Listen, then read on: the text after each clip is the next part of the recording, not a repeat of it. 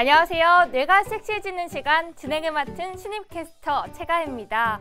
여러분 오늘은 제가 여러분의 주식이 쑥쑥 올라가시라고 이렇게 정렬의 빨강색 의상을 입어봤는데요. 어떠신가요? 오늘 주식 잘하고 계신가요? 네, 오늘은요 역시 어제처럼 날씨가 굉장히 따가운데요. 햇볕도 굉장히 뜨거워가지고 밖에 나갔는데 살짝 덥더라고요. 그래도 저는 꿋꿋이 나가서 맛있는 점심을 먹고 왔는데 여러분들 식사는 잘하셨는지 모르겠어요. 자 그럼 뇌섹시를 본격적으로 시작하는 코너죠. 오늘도 출석 체크 먼저 하고 넘어갈게요. 네, 오늘 오신 분들은 댓글창 통해서 저와 인사 나누는 시간 가질게요. 네, 안녕하세요. 네, 거북이 왕자님 안녕하세요. 네, 섹시는 별로지만 cutie는 왕 좋음이라고 하셨는데요. 아, 역시 왕자님은 역시 저의 cutie한 그런 스타일을 정말 좋아하시는 것 같아요. 제가 또 오늘 cutie 섹시를 노려봤는데 아무래도 한 반 정도만 성공한 것 같은데요. 어쨌든 반이라도 성공했으니까 저는 만족합니다.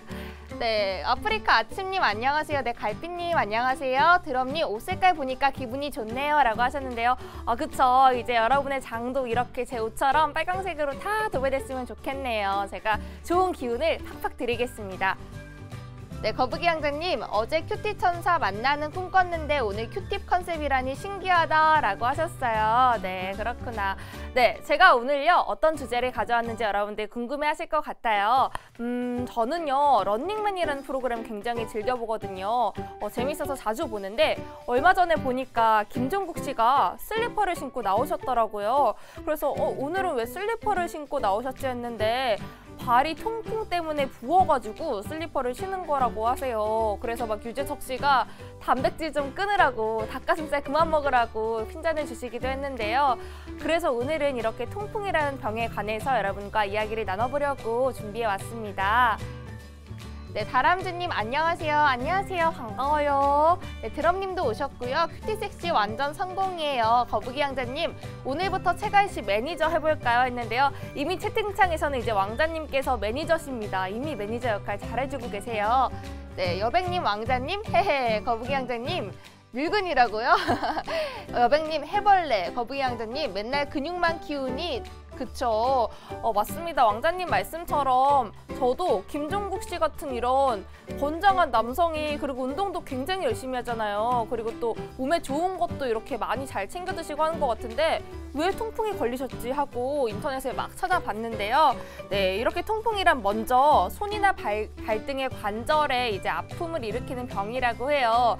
그래서 어, 바람이 스치는 정도의 잠깐의 그런 스침만 있어도 통 증이 굉장히 크다고 해서 통풍이라는 병명이 지어졌다고 하는데요. 엄지 발가락이나 발목 같은 부분에 자주 생긴다고 합니다. 그래서 이런 통풍에 걸리는 이유가 뭘까 하고 찾아봤더니요. 어, 퓨린이라는 단백질이 요산으로 변환돼서 몸 밖으로 배출이 잘 되어야 하는데 이게 뭔가 특정한 이유 때문에 배출이 잘 되지 않거나 아니면 고단백질 식품을 너무 많이 먹어서 요산이 남아서 연골이나 관절 같은 곳에 이제 남아있게 되면 그것이 통풍이 된다 된다고 하는데요. 그래서 김종국 씨처럼 근육질 몸매를 위해서 과하게 고단백 식품을 많이 드시는 분들은 약간 요산이 너무 과하게 섭취돼서 좀 통풍의 위험이 있다고 하네요. 그래서 김종국 씨 단백질 좀 줄이셔야겠어요. 우리가 이렇게 튼튼한 그런 몸도 좋지만 또 건강도 그만큼 중요하잖아요. 그렇죠? 네, 갈비님 안녕하세요. 드럼님 운동 너무 열심히 해서 그런가 봐요. 네, 바로 맞습니다. 운동을 너무 열심히 하셔서 단백질 식품을 너무 많이 드셔서 그런가 봐요. 거북이 왕자님 자상, 다정, 가정적인 남자 스타일. 갈비님 일곱 살 때 빨간 힐 신어보는 게 소원이었는데 아 이렇게 제 옷 색깔처럼 빨간 힐 신어보는 게 소원이셨다고요?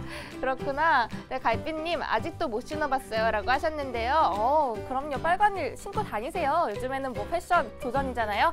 파이팅! 신고 다니세요, 갈비님. 드럼님, 오호 좋은 정보네요. 뭐든 적당한 게 좋네요. 맞아요. 그래서요, 또 이 김종국 씨처럼 고단백 식품을 많이 드시는 분들 일단 주의하셔야 되고요. 그리고 또 어떤 분들이 주의하셔야 하면 이 여름철에 시원한 맥주 한 잔 좋아하시는 분들이 있잖아요. 맥주를 너무 많이 드시면 그 맥주 안에 있는 효모 있죠.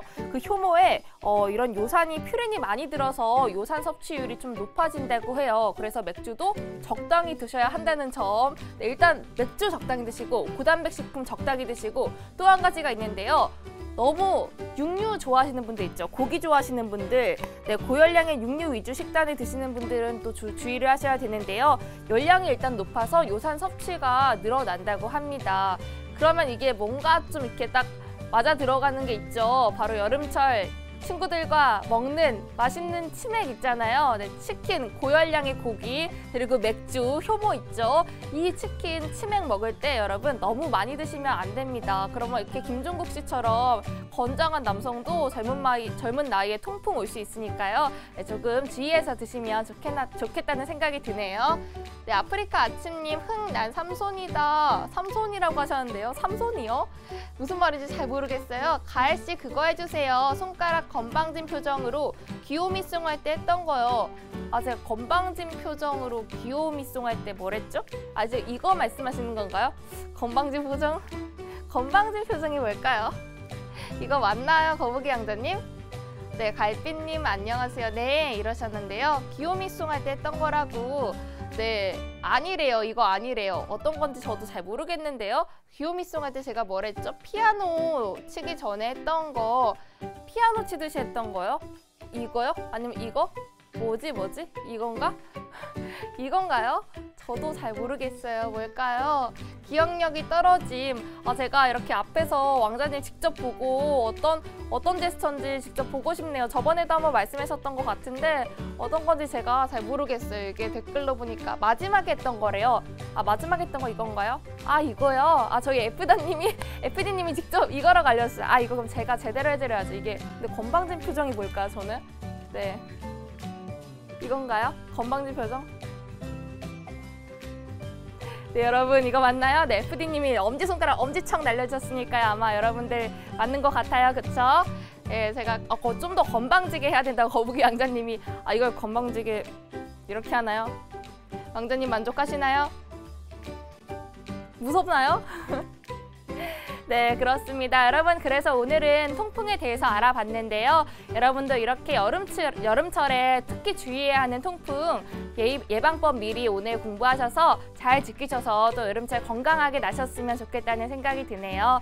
자, 그럼 내일도 저는 같은 시간에 여러분들 만나러 뇌섹시에 오겠습니다. 여러분, 그러면 오늘 오후장도 잘 마무리하시고요. 저는 내일 또 건강하게 밝게 즐겁게 여러분들 찾아올게요.